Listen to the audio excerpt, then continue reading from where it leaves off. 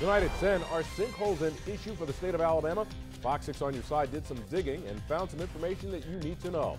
Plus, the Northport City Council meets to elect a new police chief. We'll tell you who they chose.